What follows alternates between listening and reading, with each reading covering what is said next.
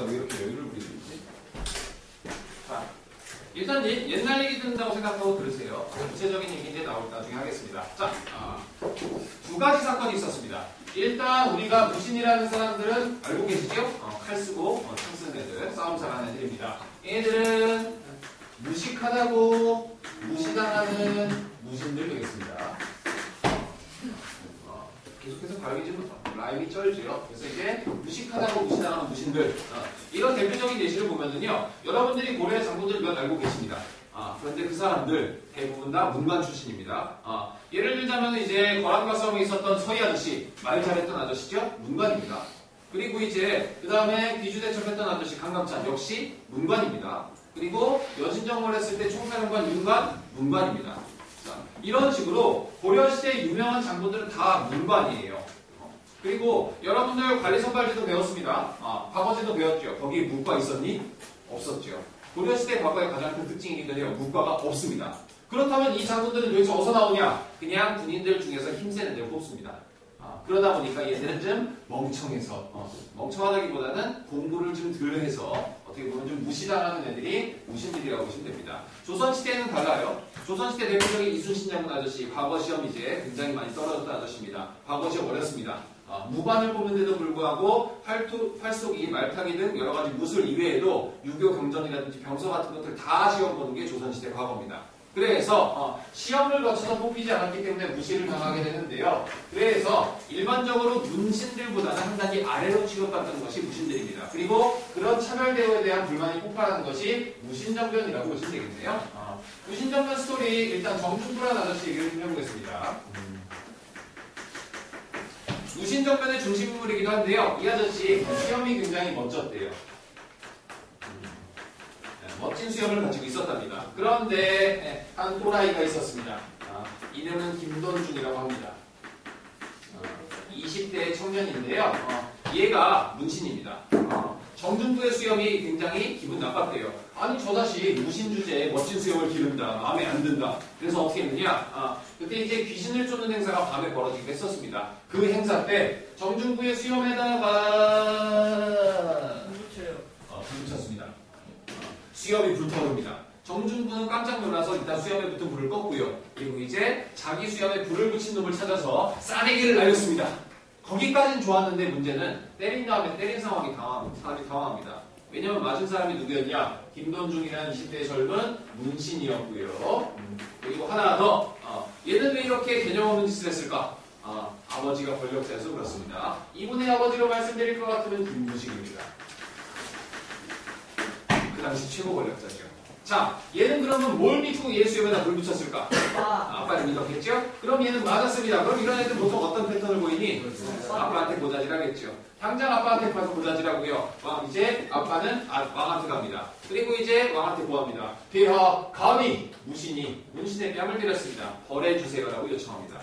왕도 생각이 있습니다. 누가 잘못한지 뻔히 보이죠. 그래서 왕은 이제 중대안을 내놓습니다. 아, 무신이 문신의 뺨을 때린 것도 잘못한 일이지만 아, 젊은 문신이 나이든 무신의 수염을 태운 것도 잘못한 일이니 이거 우리 비긴 걸로 하고 없었던 일로 합시다라고 넘어갑니다.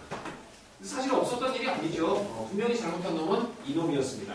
이런 식으로 정중부의 불만은 점점 쌓여갔고 이런 식으로 차별받았던 것이 그 당시 무신들이라고 생각하시면 돼요. 그래서 첫 번째 있었고요. 그리고 두 번째 김부식과 친구들이 권력을 잡고 있습니다. 아, 그리고 개혁 시도는 이미 요청의 서경천도 때 좌절된 바 있습니다.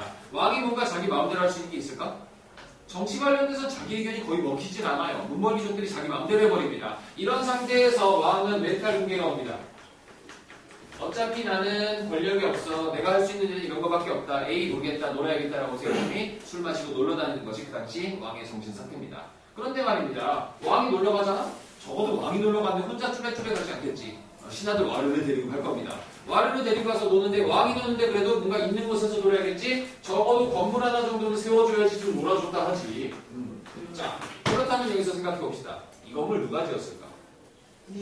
그 동네 백성들 동원해서 지었겠죠? 백성들은 불만이 점점 커집니다. 자, 그래서 백성들은 왕의 행차가 지나간다고 어, 왕 지나가십니다. 고개를 숙여라 하는 것이 아니라 왕한테 짱돌 던집니다. 음, 그만큼 백성들의 분위기가 안 좋아요. 그러면 날라온 짱돌은 누가 막을까? 무신들이 막아야 됩니다. 아, 그래서 어쨌든 무신들이 힘- 힘들게 막아가면서 행차하는 데까지 도달했어요. 도달하면 이제 왕과 문신들이 놀기 시작합니다. 무신들은 뭐하고 있을까? 옆에서 지키고 있습니다. 노는데 못 깁니다. 왜? 얘네들이 주로 노여서 놀 때 뭐라고 노냐면 시를 지으면서 놀거든요. 기억나시죠? 시 못 지어요. 안 지어줍니다. 어, 그런 식으로 차별대우 받은 것들이 무신들입니다. 그리고 왕이 이렇게 놀러가던 길에 한번 사건이 터집니다. 음, 보현원이라는 곳으로 놀러 가고 있었는데요. 어, 행차를 하다가 왕이 힘들다고 쉬어가세요. 그리고 쉬어가는 동안에 심심하다고 무신들한테 이종격투기를 시킵니다. 아, 물론 이종격투기는 아니고요. 어, 수박희라고 불리는 음, 오늘날의 태권도의 프리스 비슷한 무술이 있습니다. 아, 무술 대련을 시켰어요. 그래서 어, 이 대결들이 이어지면서 최종적인 승리자 아, 젊은 무신이 하나 나왔습니다. 여기까진 괜찮았는데 네, 문신들이 이제 심심했는지 갑자기 이 우승자와 무신들의 정신적 지주 역할을 자임하시던 60대의 이소옥이라는 장군이 있었대요. 음, 젊었을 때는 꽤 한가닥 하셨지만 나이가 많으셨죠? 60대입니다. 이 둘을 갖다 대결시킵니다. 어떻게 됐겠니? 네, 한방 맞고 나가 떨어지십니다. 그리고 어, 아픈 허리를 붙잡고서 일어서시는 이소홍 장군한테 갑자기 또다시 개념 없는 20대의 문신 네, 한뇌라는 애가 다가가더니 네, 무술도 못하는 분, 너, 너 같은 놈이 어떻게 장군이라고 나라에 욕을 먹고 있느냐 라고 해서 바로 쳐버립니다. 따귀를 때리고 어, 이 모습을 보고서 어, 정중주가 열받았습니다. 그 자리에서 당장 칼을 빼가지고 너 어떻게 나이 드신 우리 이소홍 장군한테 그럴 수 있느냐라고 하면서 할배를 한 방에 죽여버리려고 합니다. 아, 다행인지 불행인지 사람들이 옆에서 말리면서 왕 앞에서 이러시면 안 됩니다라고 하면서 정중군을 말려서 일단 여기서 할배는 목숨을 건졌지만은 이미 정중군은 강을 건넜지요. 어, 칼을 뽑았다라는 거는 나는 문신들한테 불만이 많다는 걸 몸으로 보여준 것이고 이전에 사건도 있었고 어차피 이대로 궁궐로 돌아가게 되면은 자기가 무시하, 무사하지 못할 것임을 직감을 합니다. 그래서 이번 기회에 모든 것들을 다 없애버리기로 결심을 합니다. 그래서 왕의 호위 군대를 셋으로 나눠가지고요. 하나는 보현원의 미리 뒷길로 돌아가서 대기시킵니다. 하나는 왕의 행차를 쫄쫄쫄 따라가고 왕의 행차가 도, 그 목적지에 도착했을 때 양쪽에서 호위해서 눈에 보이는 문신들을 몽땅 다 죽여버립니다. 그리고 또 하나의 군대는 궁궐로 돌아가가지고 궁궐에 남아있던 문신들을 몽땅 다 죽여버리게 됩니다. 이 사건이 이제 무신정변이라고 불리는 사건입니다. 그래서 문신들은 대다수가 죽었고요. 그나마 살아남은 문신들 지방으로 그러니까 숨어버립니다. 그래서 이제 무신들의 세상이 된 것이 무신정변의 예, 결과라고 보시면 되겠네요. 그리고 이런 식으로 권력을 잡았는데요. 어, 무신들은 처음에 외쳤습니다. 우리는 저 썩어빠진 문신들을 없애버리기 위해서 일어났을 뿐이다. 어, 우리가 정치 더 잘할 수 있다라고 외쳤습니다. 하지만 밥도 먹어본 사람이 먹는다고 문신들이 타락하긴 했어도 여러 가지 정치 좀 하던 애들이에요. 무신들은 오직 싸움만 하던 애들입니다. 작전 지휘도 제대로 안 하던 애들입니다. 그러다 보니까 아, 무신들은 정치에 있어서 굉장히 힘들어하게 되고 그리고 얘네들도 마찬가지로 타락하면서 어, 서로 간의 권력 다툼을 본격적으로 벌이기 시작합니다. 자, 권력 다툼 계고 얘기 일단 좀 해볼게요. 어, 자, 일단은 정중부와 이방이라는 주요 장군들이 서로 간에 같이 권력을 잡습니다. 아, 서로 권력을 사이좋게 나눠 먹었는데요. 문제는 이의방이 선빵을 날립니다. 음. 역시 권력을 잡는 뭐가 최고다? 아, 왕한테 딸 시집 보내는 게 최고다라고 하면서 자기 딸을 왕한테 시집 보내려고 합니다. 그러자 정중부가 삐진 척합니다. 장군 실망입니다. 전 장군이 권력에 관심이 없는 줄 알았는데 딸을 왕한테 시집 보내려 하다니 권력을 잡으실 마음이 있으신 거군요. 저는 당신과 권력 싸움을 할 생각이 없습니다. 저는 고향으로 내려가겠다라고 선언합니다. 이 얘기를 들은 이의왕이 오히려 당황합니다. 정중부의 신망이 그만큼 높았었기 때문에 무신들의 지지를 많이 받고 있었기 때문에 이렇게 되면 자기가 오히려 불리해질 처지가 된 거예요. 그래서 이의왕이 이렇게 굽힙니다. 장군 죄송합니다. 다신 그러지 않겠습니다. 어, 딸 시집 보내지 않겠습니다 라고 얘기를 합니다. 그러자 정중부가 슬쩍 마음속에 있었던 어, 보이지 않는 칼을 꺼냅니다. 어, 알았소 장군 음, 미안하오. 하지만 이 일 좀 하나 해결해 주십시오. 저쪽에 지금 서경 쪽에서 반란이 일어났다는데 걔네들 진압이 안 된대요. 장군이라면 할 수 있습니다. 보냅니다. 근데 결국 진압 못하고 돌아오는데 그 돌아오는 길에 정중부의 아들과 사위가 기다리고 있다가 이의방의 모가지를 따버립니다. 그리고서 이제 정중부가 최초의 무신주권자로 등극하게 되는 겁니다. 서로 이렇게 죽고 죽이는 거의 반복이에요. 정중부는 정치를 어떻게 했느냐? 기존에 뭐 중성사성 중천부가 다 필요 없습니다. 아, 무신들은 그냥 자기들이 이야기하던 곳에서 모여서 국가의 주요 정책들을 결정을 하게 됩니다. 군사기구 할 때 한 줄 나오고 넘어갔기 때문에 여러분들이 기억하지 못하는 이유가 있는데요. 중방이라는 무신들의 회의 이유가 있습니다. 어, 여기에서 그냥 주요 정책들을 다 결정해버리고 정책을 이어나갑니다. 그리고 정중부는 타락하기 시작합니다. 그리고 아까 나왔던 아들과 사이도 점점 타락하기 시작하면서 신나게 다른, 다른 사람들의 땅을 뺏는다든지 노비를 늘려간다든지 사치스러운 생활을 계속합니다. 이 모습을 보고 있었던 한 20대 청년 장군 경대승이라는 사람이 있었습니다. 이 경대승은 분노해서 어느 날 밤에 정중부 집 담을 넘어 들어갔고 그리고 자고 있는 정중부의 모가지를 따버립니다. 그리고 왕한테 갑니다. 폐하! 역적 정중부는 죽었습니다. 이제 저를 믿으시면 된다라고 하면서 권력을 잡습니다. 그리고 그 경제승 나름대로 정치를 하는 듯 했는데요. 일단 정중부의 주변 세력들이 워낙 많았었어요. 걔네들을 다 쫓아버리거나 도망가긴 했었지만은 자기 신변의 위협을 느끼면서 어, 도방이라는 기구를 설치해서 어, 신변 보호를 더 하기도 합니다. 그러나 경제승 잘 나가다가 2년 만에 병으로 죽습니다. 어, 권력자의 자리가 비었습니다. 그런데 그 상황에서 갑자기 어디선가 번쩍하고 백종의 뒤에가 하나 나타납니다. 이일민이라는 사람인데요. 원래 손잡고 돼지 잡던 백정 출신이에요. 이 사람 주특기가 하나 있습니다. 어, 이걸로 장군 자리에 오른 사람입니다. 사람을 절반으로 접는 거. 음, 힘이 워낙 세요. 사람을 갖다 허리를 중심으로 절반으로 접을 수 있습니다. 접으면 어떻게 될까? 죽겠죠. 어, 허리가 꺾어서 죽습니다. 이렇게 얘가 누굴 죽여버렸냐면은 정중부가 이제 권좌에 오르자마자 얘는 문신들과 놀아서 썩어빠진 왕이야라면서 의종을 갖, 그 왕을 갖다가 경주로 귀양 보내버립니다. 근데 아무래도 왕을 살려뒀다가 후환이 두려워요. 그래가지고 이의민을 시켜서 야 힘 좀 쓴다네 가서 왕 좀 죽여버려라고 시킵니다. 그래서 이의민이 가서 그 왕을 죽여버렸고 그 공로로 정중부 휘하의 장군이 됐던 사람입니다. 그런데 정중부가 이제 죽임을 당한 다음에 당연히 지방에 숨어 있었겠죠. 숨어 있었다가 경대승이 죽었다는 소식을 듣고 왕한테 와서 배와 이제 저만 믿으시면 됩니다. 라고 하면서 권력을 잡은 겁니다. 굉장히 손쉽게 권력을 잡았는데 플러스 아들들이 미쳐 날뛰기 시작합니다. 생각이 없어요. 그냥 사치와 향락에만 관심이 있습니다. 심지어 이유미는 무슨 짓도 하느냐? 아, 무신집권기의 특징 중에 하나가 음, 다 측민의 반란이에요. 자, 문벌귀족 때 반란의 성격은 어땠다? 지난 시간에 얘기한 적 있죠. 이때는 주로 지배층 간의 권력 다툼입니다. 근데 무신집권기에는 권력자들끼리 서로 죽고 죽이는 건 반란 쪽도 안 되고 무슨 사건들이 많냐? 하층민들, 일반 농민들, 향수부공민들, 심지어 노비의 반란까지 일어나는 것이 무신집권기입니다. 아, 아랫사람들의 반란이 대세예요. 자, 그렇게 되는 이유는 뭐냐? 여기서 보여주죠. 이혜민 무슨 출신이라고? 어, 백정 출신입니다. 천민 출신이죠. 이전의 권력자들은 원래 권력자예요. 아랫사람들은 사실 공부를 많이 안 하다 보니까 생각이 그렇게 많지 않습니다. 아, 우리 그냥 이렇게 살아야 되는가 보다. 라고 아무 생각 없이 사는데 지금은 뭐냐? 내 옆에서 소지 잡고 돼지 잡던 저 천한 놈이 지배자하고 나한테 손가락질하고 있어요. 나한테서 이것저것 뺏어가고 있습니다. 그럼 무슨 생각이 들겠니? 우리도 하면 할 수 있다는 생각과 함께 우리가 지금 처한 처지가 부당하다는 생각이 들겠죠. 그래서 하층민들의 반란이 굉장히 많은 시대 무신집권기의 모습이기도 합니다. 자, 그런데 네, 그런 반란의 하나를 이용해서 자기가 왕이 될 계획까지 펴었던 사람이 이의민이기도 합니다. 물론 반란이 진압당하게 되면서 그 꿈은 사라졌지만은 여러 가지 사치와 향락을 거듭하는데 갑자기 용감한 형제가 등장합니다.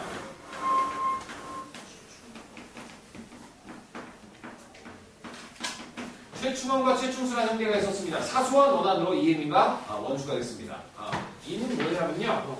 이혜민의 아들 집 하인이 예, 어느 날 최충수의 집에 가서 비둘기 한 마리를 훔쳐왔대요. 음, 이쁜 새 한 마리를 훔쳐왔답니다. 아 이거 우리 주인님 갖다 주면 좋아하실 거예요. 훔쳐왔습니다. 그리고 새를 도둑맞은 것을 알게 된 최충수는 그 집에 찾아갔습니다. 야 이 새끼들아 새 훔쳐갔다며 새 내놔. 나는 어떻게 됐을까? 아, 졸라 두들겨 맞았습니다. 여기가 어디냐고 오느냐? 어? 우리 권력자님의 아들 집이다 그러면서 신나게 두들겨 맞습니다. 이 일을 계기로 이 형제는 이의민과 삼부자에게 강한 원한을 갖게 되었고 결국 술 마시느라 정신없던 이의민과 아들의 집을 습격해가지고 얘네들이 죽이고 어, 권력을 잡는 데 성공합니다. 어, 처음엔 형제가 처, 권력을 사이좋게 잡았는데요. 최충수가 또 비슷한 짓을 해요. 자기 딸 갖다 왕한테 씹어내려고 합니다. 그러다 형이 빡쳐서 동생을 죽여버립니다. 어, 그리고 이제 새로운 권력자로 등장하는 것이 최충원입니다. 자, 그리고 최충원은 최소한 하나는 잘했습니다.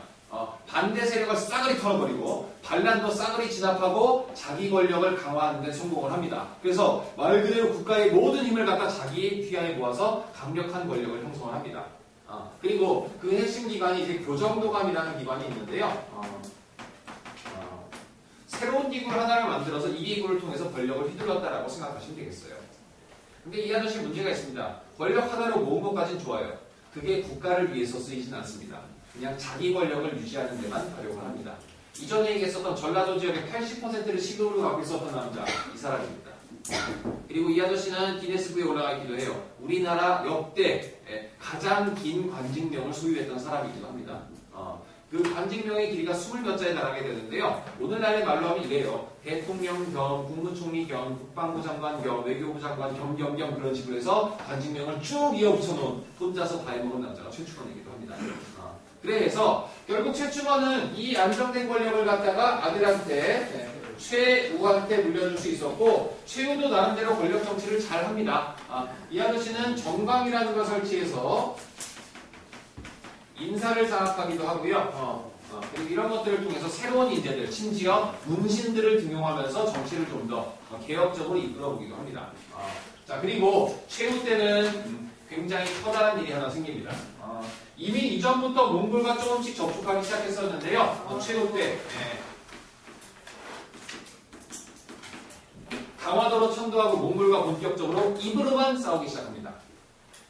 본인은 안 싸워요. 이따가 몽골과의 항쟁 과정에서 이야기 추가로 하겠습니다. 아, 그리고 이때 최씨 정권이 얼마나 안정적이었느냐. 강화도로 수도를 옮겼는데도 불구하고 근거지가 옮겨졌는데도 불구하고 권력이 흔들리지 않아요. 그래서 최우는 자기 아들 네, 최항한테 권력을 물려줄 수 있었고 최항도 자기 아들 최의한테 네, 권력을 물려줄 수 있었습니다. 그러나 어, 이때 대략 4대 60여 년간 지속됐던 이 최씨 정권은 어, 자기 집 노비한테 무너집니다. 어, 김, 최의가 자기 집 노비였던 김준한테 맞아 죽습니다.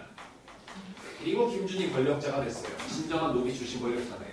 그리고 김준은 얘 마음에 안 들어라고 생각하던 이면이라는 사람한테 맞아 죽고 이면은 이뮤무라는 사람한테 맞아 죽게 되면서 어, 그리고 이뮤무도 어, 다른 사람한테 맞아 죽게 되면서 이제 건지는 끝납니다. 이거 다 필기하고 있었니? 아, 미안해. 교과서에 그대로 있긴 해. 그리고 너무 복잡하죠? 어, 이거 여러분들이 무슨 공무원 시험 한국사 볼 거 아니면 다 외우실 필요 없습니다. 일단 여러분들이 기억하셔야 될 거는요. 어, 이 사람 음, 무신정변의 주역이죠? 정중부 정도 기억을 해주셔야 되겠습니다. 그리고 어, 이 사람들이 무신집권기 어떤 식으로 정치되는가 이쪽에 있는 정치기구들 있죠? 어, 이 정치기구들의 성격 음, 기억해 주시고요. 그리고 어, 최충원은 어, 이때부터 시작합니다. 그냥 최충원부터 시작해가지고 4대 60여 년간 최씨 무신정권입니다. 4대 4명 60여 년간 그리고 또 하나 어, 강화도로 천도하면서 무신과 아니, 몽골과 싸움을 시작한 시기이기 때문에 좀 기억해 둘 필요가 있습니다. 그리고 마지막에 끝나면서 나머지 아저씨들은 몰라도 되고 그리고 무신집권기가 끝나는 상징이자 원간섭기가 시작되는 상징은 뭐가 된다? 어, 어, 원래로 돌려가야겠죠? 강화도에서 어디로? 어, 개경으로 수도를 돌아오게 되는데 개경 수도를 돌아왔다 한도라고 표현을 합니다. 색깔 표시해놓은 부분을 중심으로 해서 주요 줄거리를 기억하시면 되겠습니다. 일단 어지러웠다라는 걸 좀 상징적으로 기억에 남기고자 길게 이야기를 해봤고요. 한국사는 잡다면 반증돼야 돼요. 옛날 얘기가 반증돼야지 여러분들이 그나마 어, 어려운 한국사를 그나마 좀 즐겁게 수업을 들을 수 있습니다. 그래서 무신집권기 이렇게 정리하고 책에서 음, 간략하게 볼까요? 어, 자, 결국 누군가 권력을 독점한다라는 게 그래서 지배층 간의 권력 다툼이 벌어지는 것이 문벌귀족기의 특징입니다. 그걸 마무리 지은 것이 무신정변이고요. 자, 그래서 문벌귀족이 셋째 줄에 있습니다. 문벌귀족이 권력을 독점하고 문신우대와 무신차별이 심해지자 무신의 분란이 커집니다. 나름 개혁도 실패했었고요. 결국 정중부 등이 예, 무신정변을 일으키게 됩니다. 자, 그리고 권력 장악한 기구 중방을 통해서 무신들의 회의 기구인 중방을 통해서 권력을 행사하고 그리고 얘네들 개혁은 안 합니다. 자기들의 권력을 유지하고 재산을 늘리는 데 집중하면서 어, 그 결과 무신 집권기의 특징이 한 문장으로 정리가 되어 있네요. 두 번째 단락 마지막 문장입니다. 집권자가 자주 교체되고 농민과 천민 등이 봉기하면서 사회적 혼란이 더욱 커집니다.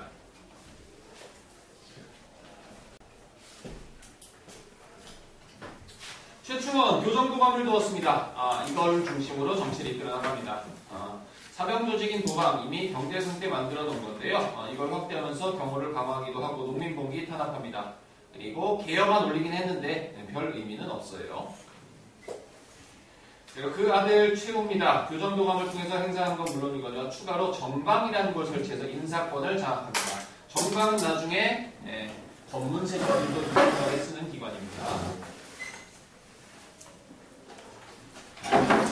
마지막 줄에 야별초라는 방범대 치안기구를 조직했다라는 얘기도 나오는데요. 이들은 최씨 정권을 호위하는 역할도 하게 됩니다. 다음 장 넘어가겠습니다. 농민과 천민의 동기입니다. 반란이 굉장히 많습니다. 어. 자, 반란 시리즈인데 시대는 구분하셔야 돼요. 이전에 무슨 반란이 있었을까? 김원창에는 뭐였게? 김원창에는 어, 이와서 왕 못된 아저씨 아들 어, 김원창이란 있었고요. 그 신라 하대의 진골기족들을 가진 왕이 다툼에 있었던 사건이죠. 그리고 그 다음에 있었던 것이 원종과 애노의 난. 왕때 신라 하대 때 일어났었던 농민들의 반란 원종과 애노의 난 있었습니다. 그리고 아까 있었던 묘청의 난 있었고요. 우벌기 족이죠. 그리고 여기 그 반란보다 훨씬 많은 반란들이 오른쪽 주도에 보입니다. 수많은 난이 있는데 일단은 몇 가지 교과서에 붉은 글씨로 있는 것들 정도는 기억해 주셔야 되겠습니다. 음, 뭐 조이총의 난도 있었고요. 그리고 이제 망이 망소이의 난 이름 고쳐 이제 어떻게 보이니 망이 망소이래 첨예스럽죠. 어, 향소 부국민들이었고요. 그리고 이제 예, 경상도에서는 김상희와 효신의 반란이 일어나기도 합니다. 어, 농민 반란이었고요. 얘들 심지어 신라 부흥까지 얘기하기도 해요. 그냥 명분이에요. 자 그리고 마지막 단락에 있는 밑에 세 줄 얘가 어떻게 보면 가장 의미가 큰 거기도 합니다. 최충원이 잠깐 정권을 장악한 이후에 노비였던 만적이 신분해방 운동을 시도합니다.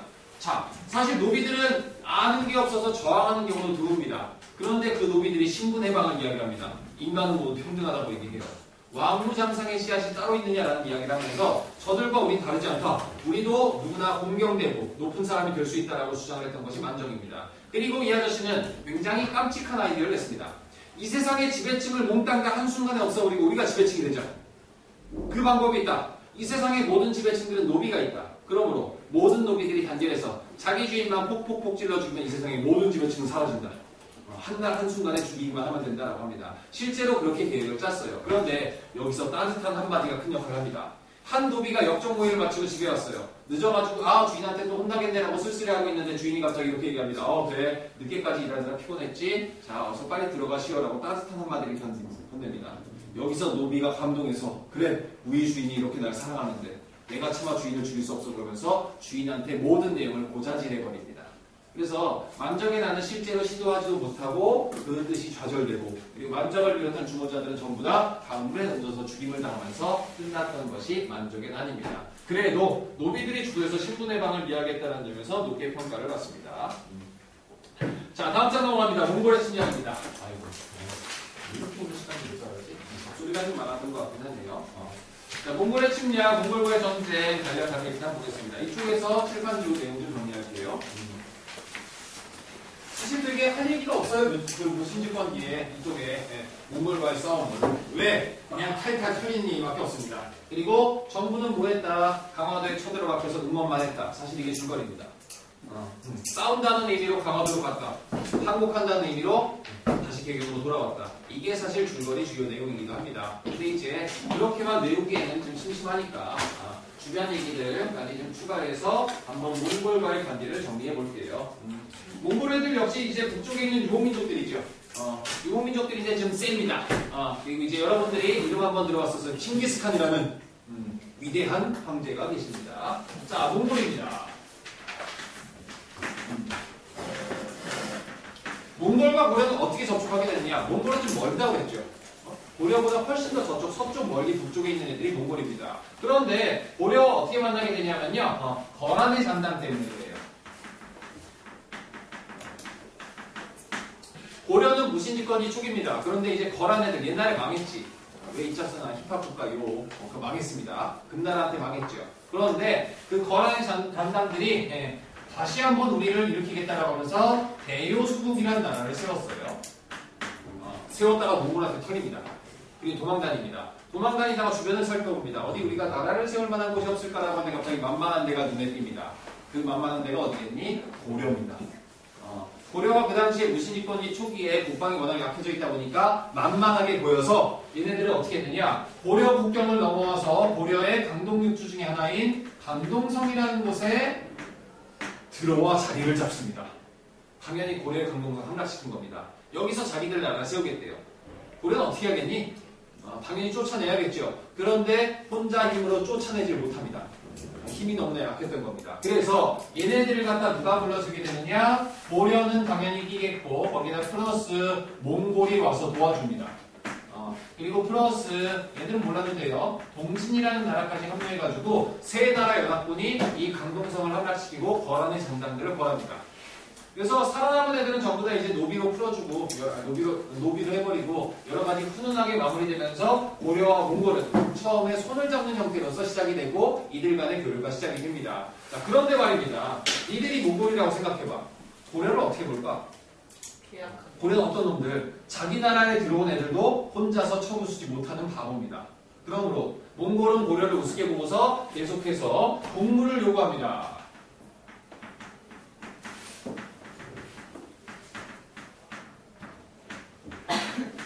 고려는 기분이 나쁩니다. 하지만 줄 수밖에 없습니다. 계속 공을 바칩니다. 어, 그런데 점점 요구가 심해지면서 고려도 이제 슬슬 불만이 늘어나고 있을 때 갑자기 사건이 하나 터집니다. 고려에서 여러 가지 공물을 챙겨가지고 몽골로 돌아가던 사신이 고려의 국경지대에서 피살당합니다. 어, 고려인 그 사신을 죽인 사람들은 고려인 복장을 하고 있었대요. 근데 실제로 고려인들은 아니었고 고려인 복장을 한 고려인 코스프레라고 있었던 여진들이었습니다. 그래서 어, 몽골의 사신이 죽었고 어, 이거에 대한 죄를 묻겠다라고 하면서 이게 원인이 돼서 몽골의 1차 침입으로 이어집니다.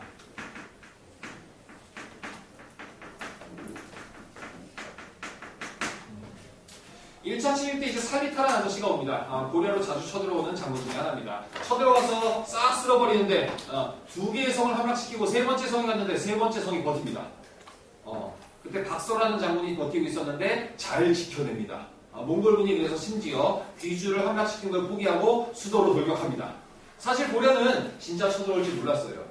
당황하고 있었습니다. 그래서 재빨리 미안하다, 잘못했어, 다시는 안 그럴게라고 강화를 시도했었고, 그리고 몽골도 이때 그래 이제 까불면 죽는다라는 식으로 경고만 날리고 이제 조용히 돌아갑니다. 근데 심지어 몽골군이 돌아갈 때 그 귀주성을 지키고 있었던 박서라는 장군은 우리나라 항복했지만 나는 너희를 용서하지 않겠다라고 하면서 어, 몽골군과 끝까지 항쟁했다라는 음식 얘기도 전해집니다. 하지만 어쨌든 간에 실대로 털렸죠. 몽골의 이제 공물력은 어떻게 해야 될까? 더욱 강해지겠죠. 그래서 어, 더해지는 무리한 요구에 어, 그 당시 무신집권자 최우입니다. 결단을 내립니다. 최우 음, 항전을 결정합니다. 그리고 백성들한테 감을 써서 알려요. 아, 모든 백성들, 우리는 이제 몽골과 싸울 것이다. 너희들 모두 다 피난 가라. 몽골군은 유목민족이기 때문에 바다에서 싸우는 싸움에 약하고 그리고 어, 산에서 싸우는 싸움에 약하다. 그래서 너희들 섬이나 아니면 산성 같은 것으로 어, 피난 가라라고 명령을 내립니다. 그리고 자기 집 이삿짐을 갖다가 어, 수십 수레를 싣고서 수도를 강화도로 옮겨서 이제 항전하기 시작합니다. 자, 여러분들이 이 당시에 백성이라고 생각해 봅시다. 피난 갈래 안 갈래? 실제로 선택을 해보자. 자, 피난 가겠다 안 가겠다 손 들어봐. 나는 피난 안 갈래요 손. 피난 가겠습니다 손. 자, 지금 손 드신 분 모두들 어, 굉장히 높은 확률로 굶어 죽었습니다. 자, 피난 간다라는 의미의 사실 가장 큰 건 그거예요. 피난 가면은 농사 짓던 사람들이 버리고 갑니다. 버리고 갔지? 그러면은 뭘로 먹고 살 거야? 쌓아둔 재산 있어? 일반 백성인데 없죠. 백성들 피난돼서 가라고 얘기 들었지만 거의 못 갑니다.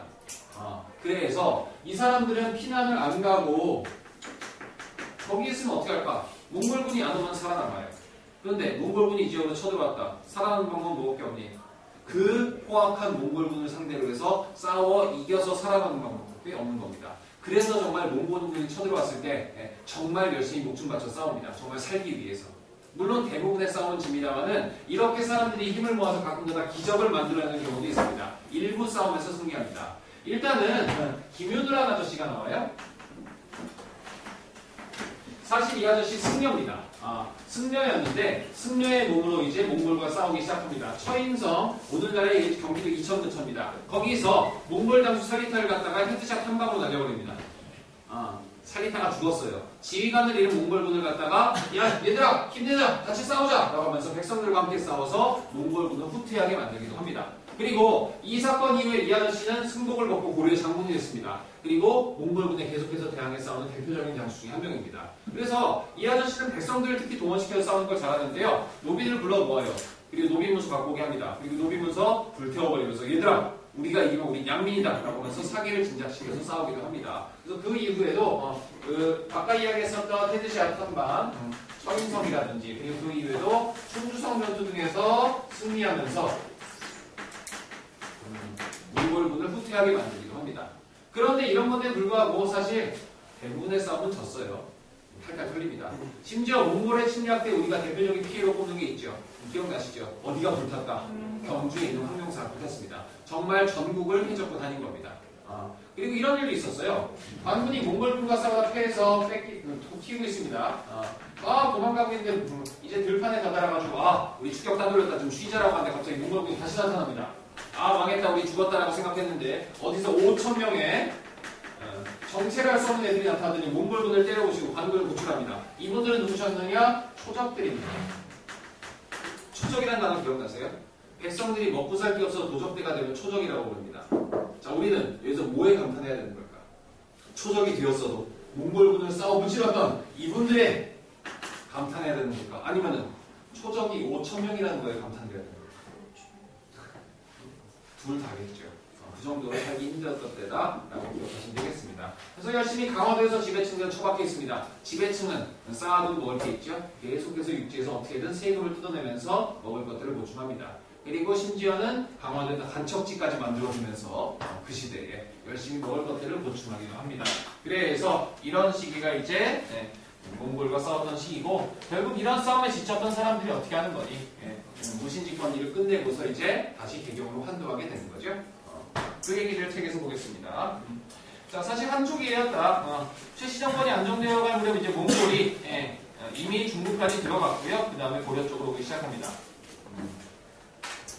그리고 처음에는 외교관이 맺고서 어, 잘듯 싶었습니다만 곡물 요구로 인해서 점점 사이가 벌어지다가 결국 거기 첫 번째 단락 마지막에 있죠. 어, 몽골 사신이 귀국길에 피살된 것을 계기로 몽골은 고려를 침략합니다. 이것도 너무 자세히 보실 필요는 없어요. 어, 일단 몽골의 사신이 피살된 걸 계기로 1차 진입이 이어졌었습니다.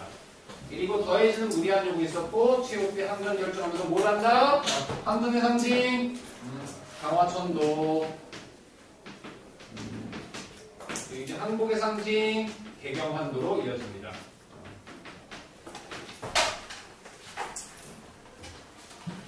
자, 그래서 일단 첫 번에는 화의를 해서 몽골군을 몰아내긴 했었습니다만 그 이후로 몽골은 여러 가지 내정 간섭이 이어집니다. 그래서 최후는 수도를 강화도로 옮기고 주민을 섬과 산성으로 들어가게 하여 정확히 얘기하면 들어가라고 말만 한 다음에 장기 항전을 준비합니다.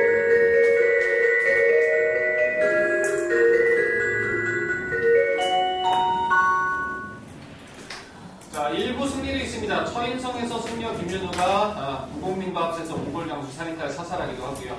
네, 충주성에서도 노비 등 사회적으로 천대받던 계층이 몽골에 저항해서 싸워 이기기도 합니다. 하지만 힘들었고요.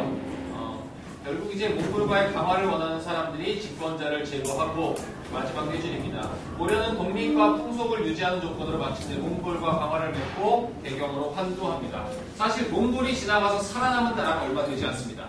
어, 정말 다 털입니다. 몽골은 말 타고 들어갈 수 있는 데는 다 죽어본다라고 보십니다. 유럽까지 들어갑니다. 지금까지 역사상 존재했던 인류의 모든 국가들 중에서 가장 커다란 나라가 몽골입니다. 자, 그리고 마지막까지 저항한 사람들도 있었습니다. 최후가 양성했던 삼별초라는 조직이 있었죠. 어, 얘네들이 몽골과의 강화에 반대하면서 조선의 지휘 아래 강화도에서 반기를 듭니다. 그리고 이들은 몽골군의 추격을 피해서 진도와 제주도로 근거지를 옮기면서 장기간 항전하였으나 최후의 한 사람까지 항복하지 않았다는 훈훈한 얘기도 있으나 결국은 이제 천리입니다. 자, 근데 생각해봅시다. 강화도도 못 들어갔던 애들이 진도하고 제주도는 어떻게 갔을까? 고려군이 함께 갔어요. 그래서 이제 서로 싸웠다라는 좀 아쉬운 점도 있습니다. 그래서 이런 3절주의 항쟁을 마지막으로 올해 친이 우승직 건지는 마무리를 막을 짓겠습니다. 수고하셨습니다. 시간